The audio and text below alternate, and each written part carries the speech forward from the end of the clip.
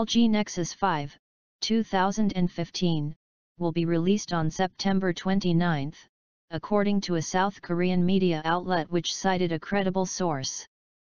There was, however, no word on the release date of the Nexus device being manufactured by Huawei.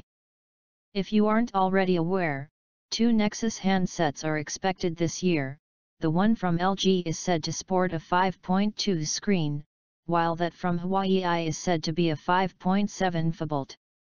Apart from screen size, both are rumored to have mostly the same specs. A recently leaked 3D render of the LG's handset showed a fingerprint scanner on a plastic back with beveled edges, fitted on a metal frame.